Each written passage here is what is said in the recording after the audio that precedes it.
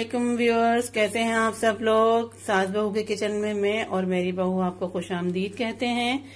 आज हमारे किचन में बहू साहिबा लेकर आई हैं आलू गोश्त जो हम चिकन में बनाने वाले हैं। पूछते हैं बहू बेगम से वो किस तरह बना रही हैं? चलें।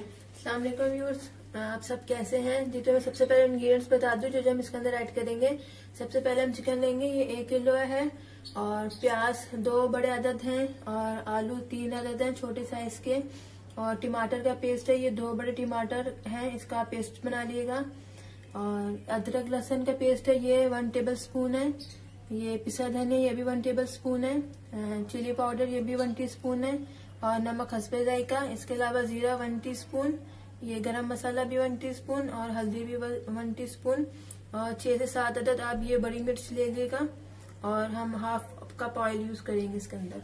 ये तो सबसे पहले हम अपना ऑयल डालते हैं। जी तो ये हम अपना ऑयल डाल लेते हैं सबसे पहले। ऑयल कितना है?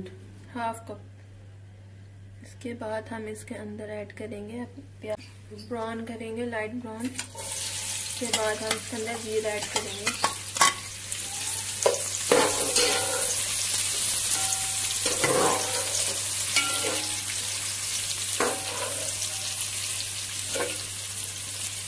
ये तो व्यूर्स हमारी प्याज लाइट ब्राउन ब्राउन हो चुकी है। अब हम इसके अंदर जीरा ऐड करेंगे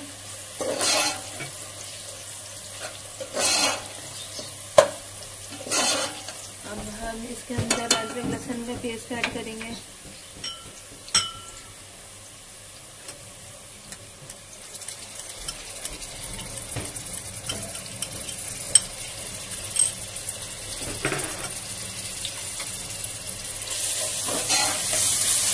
इसकी करेंगे उसके बाद हम इसके अंदर स्पाइस ऐड करेंगे। ये तो व्यूज़ अब हम इसके अंदर हम चिकन ऐड करेंगे पहले, फिर उसके बाद हम अपने स्पाइस ऐड करेंगे। पहले चिकन को इसका कलर चेंज करके फिर हम इसके अंदर मसाले अपने सारे डालेंगे।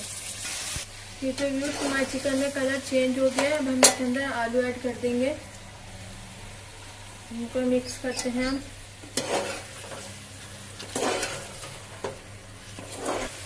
ये तो हम इसके अंदर चिली पाउडर ऐड करेंगे। उसके बाद हम हल्दी पाउडर डालेंगे। पिसा, धनिया।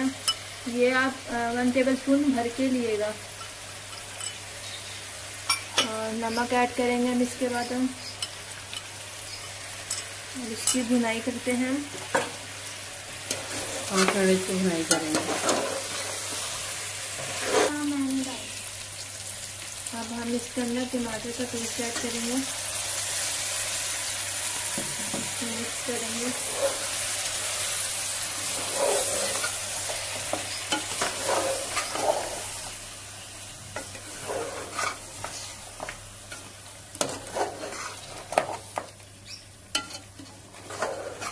जी तो भी सब हम इसके अंदर पानी ऐड करेंगे और इसको हम दम पे रखेंगे जब तक हमारी चिकन गल ना जाए। आलू और चिकन दोनों गल जाएँगे साथ ही।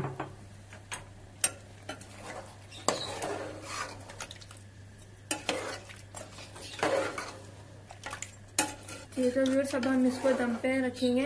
और हमने तकरीबन एक कप इसके अंदर पानी ऐड कर दिया है।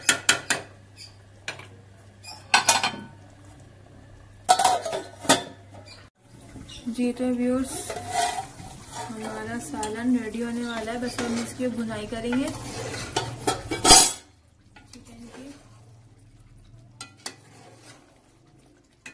भुनाई करने के बाद हम इसके अंदर हरी मिर्च, गरम मसाला और धनिया डाल के इसको पाँच मिनट के लिए दम देंगे। उसके बाद हम अपना सालन डिश आउट कर देंगे।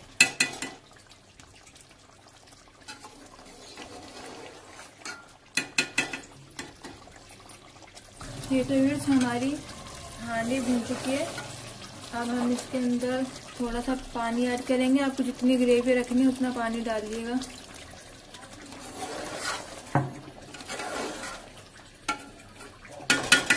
अब अब हम इसके अंदर हरी मिर्च डालेंगे।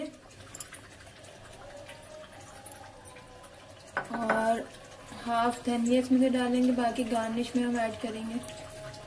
नहीं सिर्फ़ थोड़ा सा बचाएँगे बाकी सब डाल देंगे।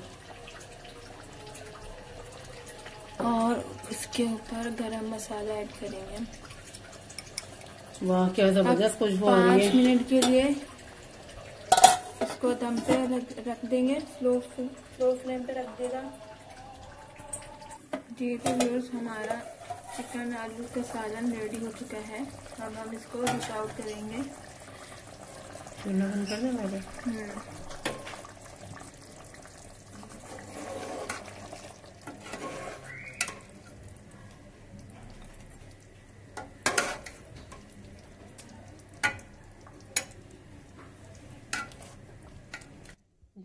व्यूअर्स देखें कितने मज़ेदार आलू गोश्त तैयार हुआ है और इसकी स्मेल भी बहुत अच्छी किचन में फैली हुई है।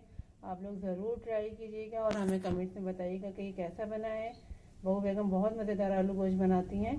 आप बनाएँगे तो आपको भी यकीन हो जाएगा। मेरी भारी पे भी ऐसी कहना है। अच्छा। जी तो अब मुझे मेरी सासू माँ को सास बहू के किचन से इजाज़त दीजिए। अल्लाह हाफिज़। अल्लाह हाफिज़।